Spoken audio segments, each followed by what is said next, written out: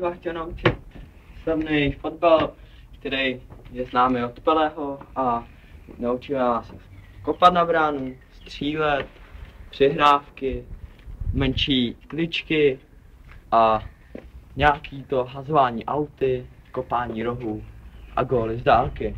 Jdeme na to.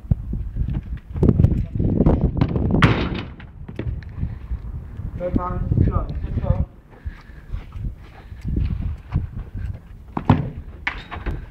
vám položí. Střela. Do šibenice.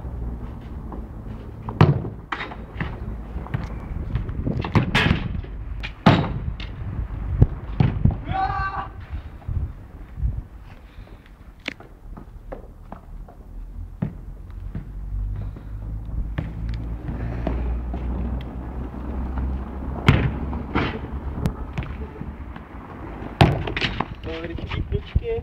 Šejte.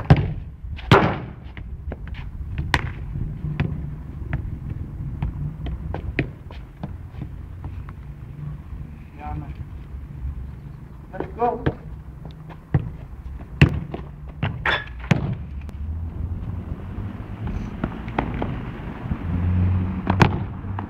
Chyba zase to všechno.